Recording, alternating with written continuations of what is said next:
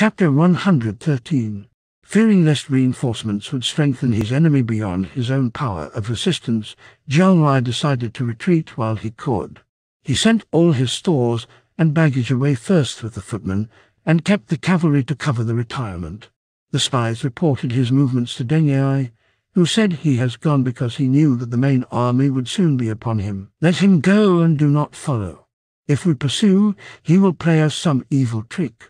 Scouts were sent to keep in touch with the retreating army, and when they returned they reported that preparations of dry woods and straws had been made in the Liu Valley to check any pursuit with fire. The officers praised the prescience of Deng Ai. General, your calculation is superhuman. When Deng Ai reported these matters to the capital, Sima Zhao was very pleased and confirmed more rewards. The Prime Minister of Wu, Sun Chen, was greatly angered by the desertion of so many of his soldiers and officers to Wei, and revenged himself by putting their families to death. The ruler of Wu, Sun Liang, disapproved of these acts of cruelty, but he was powerless. The young emperor was of an ingenious turn of mind. One day he went to the West Park to eat of the newly ripened plums. He bade one of the eunuchs bring some honey. It was brought, but there were mouse droppings in it. The ruler of Wu called the storekeeper and blamed him for carelessness. The storekeeper said, We are very careful to keep the stores in good order, and the honey cannot not possibly have been fouled in the storehouse. Has anyone asked you for honey lately? asked the ruler of Wu. One of the eunuchs asked for some a few days ago. I refused him. The ruler of Wu called the named eunuch and said, You defiled the honey out of spite. The man denied it. It is very easy to tell, said the ruler of Wu. If the dirt has been lying in the honey for some time, it will be wet all through. Then the ruler of Wu ordered them to cut one of the lumps, and it was quite dry inside. The eunuch then confessed. This shows the ruler of Wu was quick-witted. But clever as he was, he could not control his prime minister, whose relatives were in command of all the garrisons and armies, so that he was unassailable. His four brothers all had high offices. Sun was general who terrifies distant regions and commander of imperial guards, Sun En general who shows prowess, Sun Gan imperial commander, and Sun Kan commander of Changshui. One day the ruler of Wu, musing over his sorrows and feeling very miserable, began to weep. The officer in charge of the eunuchs, who was an imperial brother-in-law, stood by. Sun Chen holds all real power, does as he wishes, while I am despised, said the ruler of Wu. Something must be done. Quan Jai said, I would think no sacrifice too great if your majesty would make use of me. If you could muster the palace guards and help General Liu Cheng to keep the gates, I would go and murder the ruffian. But you must not let anyone know, for if you tell your noble mother, who is a sister of Sun Chen, she will tell her brother, and that would be very serious for me. Will your majesty give me a command that I may have authority to act when the time comes? Said Jai. At the critical moment I could show the edict and hold back Sun Chen's supporters. The command was given, and Jai went home. But he could not keep his secret, and confided the plan to his father, Quan Shang. His father told his wife, Sun Chen will be got rid of in three days. Oh, he deserves that, said she. Although she seemed to approve with her tongue, she sent a secret messenger with a letter to the proposed victim. That same night, Sun Chen called in his four leader brothers, and the palace was surrounded. The conspirators were seized, with Liu Cheng and Quan Shang and all their families. About dawn the ruler of Wu was disturbed by a commotion at the gates, and a servant told him, Sun Chen with his army has surrounded the inner palace. Sun Liang knew that he had been betrayed. He turned on Empress Quan who was of the Quan house, and reproached her. Your father and brother have upset all my plans. Drawing his sword, he was dashing out when his consort and her people clung to his clothing and held him back. After putting to death Liu Cheng's and Quan Shang's parties, Sun Chen assembled the officers in the court and addressed them thus, The emperor is vicious and weak, depraved and foolish and unfit for his high office. Wherefore he must be deposed. Any of you who oppose will be punished. As for conspiracy, we shall obey your command, O General, said the court officials out of fear. Only one of those present dared to say a word of protest. It was chair of the secretariat Huan Yi who said, How dare you utter such words? Our emperor is very intelligent, and I will not support you. I would rather die. Sun Chen wrathfully drew his sword and slew Huan Yi. Then Sun Chen went into the palace and said to Sun Liang, O unrighteous and unenlightened highness, your death would be the only fitting reparation to make to the empire. But out of consideration for your ancestors, you are only deposed and degraded to princely rank as Prince of Kuaiji. I will select a worthy successor. Secretary Lai Zong was ordered to bring in the royal seal, which was delivered to Deng Cheng. The deposed ruler retired weeping, the sage example of the wise Yin, perverted now to traitor's use we see, and Huo Guang's faithful services are made, a cloak to cover vilest treachery. Even able princes are but toys of fate, and need our pity fallen from high estate. Sun Chen then sent two ministers of the court, royal clan recorder Sun Kai and secretary Dan Cao, went as envoys to Hunan to request Sun Xiu, Prince of Langye, the sixth son of Sun Quan, to ascend the throne. The emperor-elect had had some premonition of the high honor to which he was now called, for in a dream he saw he ascended into the sky seated on a dragon. Only the dragon seemed to have no tail. He woke up in a fright, and the next day brought the imperial envoys, Sun Kai and Dan Kao. Sun Xiu set out, at where his carriage was stopped by a venerable old man who claimed to be Ganzu and offered felicitations. Your Majesty should move faster, for things may change swiftly, said the aged one. Sun Xiu thanked the old man. At Busai Pavilion awaited Sun En with a chariot, but Sun Xiu's modesty would not allow him to mount it. He remained in his own simple carriage and therein travelled to the palace. Officials lined the road to salute him, and he dismounted to return their salutations. Then Sun Chen stood forth and bade them take the newly elected emperor by the arm and lead him into the great hall where, after thrice refusing the honour, he at last took his seat in the dragon throne and received the jade seal passed from one ruler to another. When all the officers had made obeisance, there were the usual amnesties, promotions, and honours, and eternal tranquillity. The first year, AD 258, was the name of the new reign. Sun Chen was confirmed as Prime Minister with the imperial protectorship of Jingzhou. Moreover, Sun Hao, the son of his elder brother, was created Lord of Wucheng. Sun Chen, with five persons in his family holding lordships, and the whole army under their command, was immensely powerful, able to set up and pull down a will. The new ruler of Wu, Sun Xiu, secretly feared him, and although outwardly he showed Sun Chen great favour, yet he kept careful watch over Sun Chen whose arrogance knew no bounds. In the winter Sun Chen sent into the palace presents of oxen and wine as birthday gifts. The ruler of Wu declined them.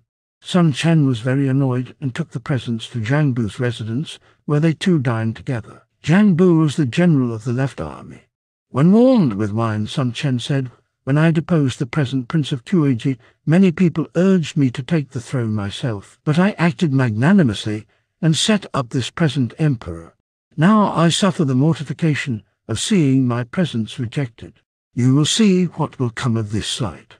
Zhang Bu showed sympathy, but the next day he secretly told the ruler of Wu, and Sun Xiu's fears increased so that he could not rest. Shortly after this, Sun Chen sent a large body of troops under the command of Minister Meng Zong into camp at Wuchang, and Sun Chen armed them from the state arsenals. Whereupon General Wai Mao and Imperial Guard Shishu secretly memorialized the ruler of Wu Sun Chen as moved the troops outside and provided them with state arms. This action points to rebellion. Sun Xiu was shocked and called in Zhang Bu to consult, and he said the veteran General Ding Feng is an able and trustworthy officer. He should be consulted. So Ding Feng was called and taken into the emperor's confidence. Have no anxiety, said Ding Feng, I will find some way of ridding the state of this evil. What do you propose? When the winter court is held, and all the officers are assembled, spread a great banquet and invite Sun Chen. I shall be ready to act. Wai Mao and Shi Shu were taken into the part, and were to do what was possible outside the palace, and Zhang Bu saw to arrangements within. One night a heavy storm came on to blow, which tore up great trees by the roots. However, by daylight it had abated, and that morning an emperor's messenger arrived, bearing an invitation to a banquet in the palace. Sun Chen rose from his couch, and as he did so fell flat on the ground as though he had been pushed from behind. This accident troubled him, and he felt apprehensive, so he called half a score of his trusty guards to act as his escort to the palace. As he was leaving home, his family besought him not to go out, saying, The storm last night and the fall this morning are fearful omens. You should not go to that banquet. However, he made light of their fears and said, My brothers are holding the army. Who will dare come near me? But if there is anything amiss, you just give a fire signal from the Prime Minister's residence. So Sun Chen took his seat and the carriage set out. When he reached the court, the ruler of Wu rose from his place to welcome him, and at table Sun Chen sat in the seat of honor. The banquet proceeded. There is a fire outside. What does that mean? said a guest presently. Sun Chen rose to go out, but the ruler of Wu said there is no danger, and there are plenty of soldiers outside to take care of that. Just at the moment Zhang Bu entered, the head of thirty armed guards. He rushed up the banquet chamber, shouting, I hold a command to slay the rebel Sun Chen. Instantly the prime minister was seized. He fell prostrate before the ruler of Wu, knocking his head on the ground and crying, Spare my life. Exile me to Jiazhou, where I will do power work. Did you exile any of your victims staying Yin, Lu Ju, Wang Chun, and others? said the ruler of Wu angrily. The order went forth to carry out the execution, and Sun Chen was hustled out and put to death. No single person of his servants raised a hand to help him. Then Zhang Bu read an edict, Sun Chen is the only culprit, and no other will be questioned. Then at Zhang Bu's request, the ruler of Wu went up on the tower of the five phoenixes. Zhang Bu, Wai Mao, and Shi Shu brought the brothers of the prime minister before Sun Xiu, and he condemned them to death. After this their families were slain so that many hundreds suffered death. Not content with all these things, the tomb of Sun Jian was broken open, and his corpse beheaded. Magnificent tombs were raised to his victims Yu Qi, Teng Yin, Liu Ju, Wang Chun, and others. Thus at last loyalty was rewarded, and the banished were permitted to return home with full pardon. The conspirators were rewarded. News of this revolution was sent into Chengdu, and the latter ruler sent an envoy into Wu with felicitations. In return, the ruler of Wu sent Zhu Zu as his envoy to Shu. When Zhu Zu returned, the ruler of Wu questioned about affairs in the west, and Zhu Zu said all affairs of state are in the hands of a certain eunuch named Huang Hao, and all the courtiers look up to him as to a father. At court plain truth is never heard, and the country people look sallow and starved. The whole country appears on the verge of destruction. The birds on the roof do not know that the building is about to be burned. Ah, if only Zhuge Liang the martial lord was still alive how different all would be, said Sun Xiu with a sigh. Letters were prepared saying that beyond doubt Sima Zhao intended usurpation, and when that came about in Wei, both Wu and Shu would be invaded, wherefore both should be ready. And the arrival of these letters, Jiang Wei hastened to seek permission to attempt another expedition. Consent being given, a large army marched into Hanzhong in the winter of the first year of Wonderful Sight AD 258. Liao Hua and Zhang Yu were appointed leaders of the van, Wang Han and Zhang Bin as commanders of the left army, and Zhang Shu and Fu Kaiyan as commanders of the right army, while Jiang Wei and Xia Ba led the main column. Asked what he thought should be the first objective, Xia Ba replied, There is no better fighting ground than Qishan, as the tactics of the late Prime Minister made evident, and it is the only good exit. So thither three armies marched, and they made three camps at the entrance to the valley. At this time Deng Ai had a training camp at Qishan drilling the Longyu troops. The scouts told him the Shu army have pitched three camps in the valley. He ascended a hill to see and verify their reports.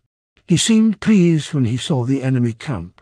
They have just done as I foresaw said Deng Ai. Now Deng Ai had carefully considered the topography of the countryside, and so had not interfered with the Shu army when it was on the march or settling into camp. Moreover, he had excavated a subterranean road to the spot where he had thought they would halt, and their left camp had been pitched just on it. Wang Han and Zhang Bin commanded in that camp. Deng Ai called his son Deng Zhong and Shizun and sent them with ten thousand troops each to attack the left camp, one on each flank. Then he sent Zheng Lun and 500 troops into the underground road which opened in rear of the camp of Wang Han and Zhang Bin. As the newly made camp was not yet well fortified, Wang Han and Zhang Bin exercised great care and kept their troops under arms all night, watching with vigilance. So, when the alarm was given, they had but to seize their weapons and go out. But as the two leaders were mounting their steeds, Deng Zhong and Shi Zun had attacked from without and Zheng Lun from within. Thus attacked from three sides, Sun Wang Han and Zhang Bin found the position untenable and fled. When Jiang Wei saw that his left camp had been attacked on three sides, he mounted and took his position in front of the center camp. Let no one move on pain of death. He shouted, Stand still. When the enemy approaches, shoot. The right camp was ordered to stand fast. His defense was effective. A dozen of times the troops of Wei came forward, only to be driven back before the arrows and bolts of the defenders. Daylight found the Shu camp still firm, and the Wei troops drew off. Jiang Wei has indeed learned of Zhu Zheng, said Deng Ai.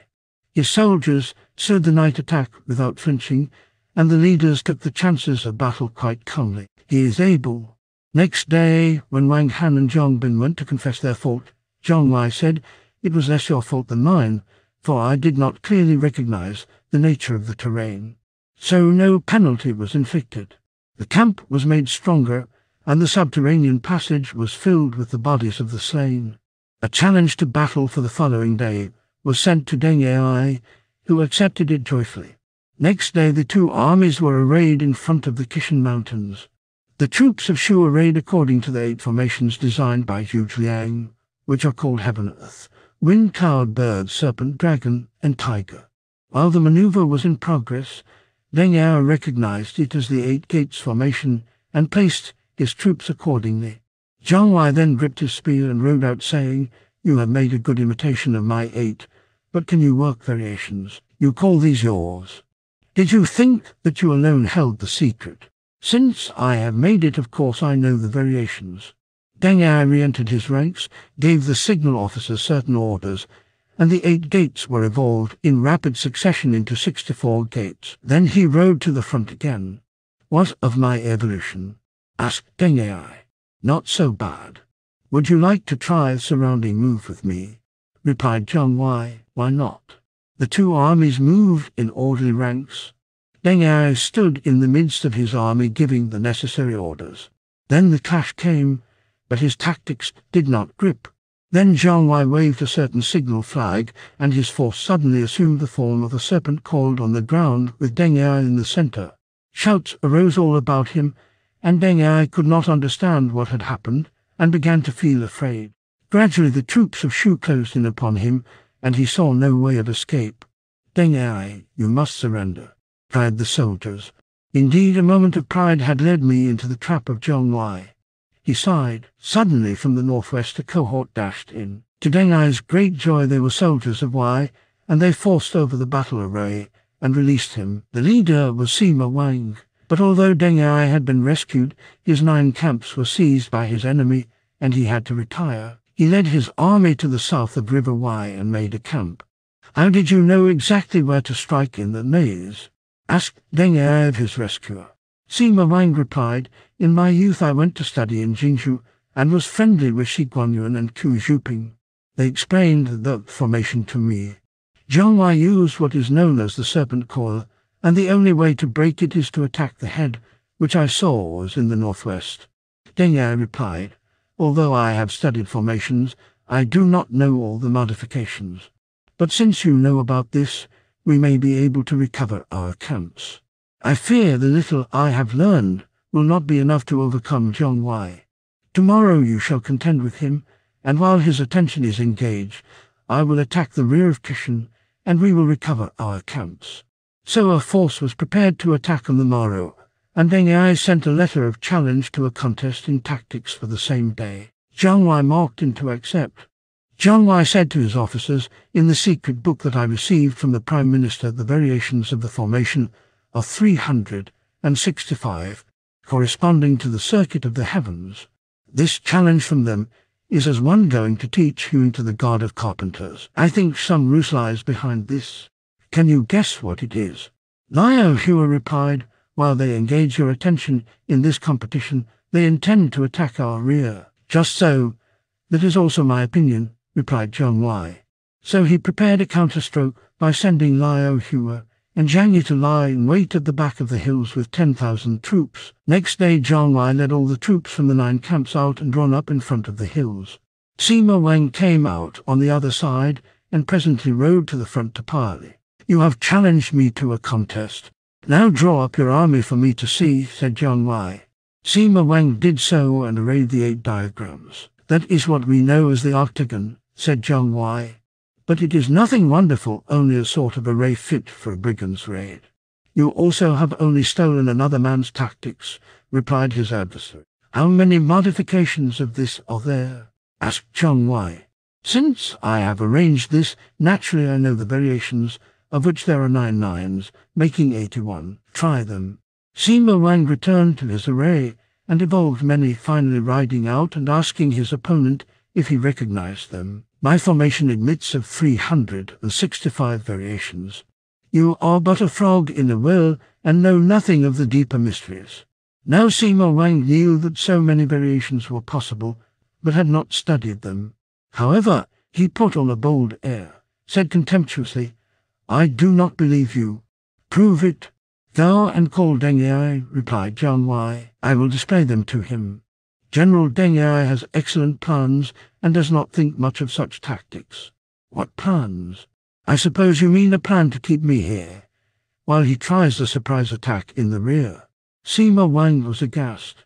He made a sudden dash forward, and a melee began. Jiang Wei made a signal with his whip, and his force poured in from both wings. The troops of Wei were seized with sudden panic, threw down their weapons, and fled. Now Deng Ai had hurried on Zheng Lun to make the first attack. As Zheng Lun turned the corner of the hill, a bomb exploded. At once the drums rolled, and an ambush discovered itself. La He was on command. Neither side stayed to parley, and the leaders engaged in single combat. In the first encounter Liao Hua cut Zheng Lun down. Deng Ai had not expected such preparation, and he hastened to withdraw. Then Zhang Yi came forth and attacked on the other side. The army of Wei was worsted. Deng Ai fought his way out, but he bore four arrow wounds upon his body. He got to the river, where he found Sima Wang, and they discussed how to get away. But Sima Wang proposed another form of attack. Recently the ruler of Shu has had a favorite, eunuch Huang Hao, in whom he places all his trust, and with whom he spends his time in one round of pleasure. Let us use the eunuch to sow distrust between the emperor and his general, and so get Jiang Wei recalled. In that way we shall retrieve our defeat. So Deng Ai assembled his advisers and asked who could go into Shu and get into communication with Huang Hao. Dang Zhan volunteered at once. Deng Ai entrusted gold and pearls and precious things to him, and sent him into Shu to win the treacherous alliance of the eunuch.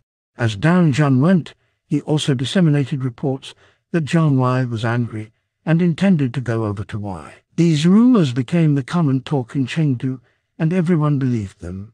Huang Hao carried them to the emperor, and a messenger was sent to call the general to the capital. Meanwhile Jiang Wei tried every day to bring the enemy to give battle, but they remained obstinately behind their defences. Jiang Wei began to think some evil scheme was afoot when suddenly he was recalled by imperial edict. Although ignorant of the reason, he could not disobey and when he began the retreat, Deng Ai and Sima Wang knew that their plot had succeeded. They broke camp and set out to attack the retreating army. Because of court intrigues, Yu Yi and Yu Fei failed. How matters went will be told in the next chapter.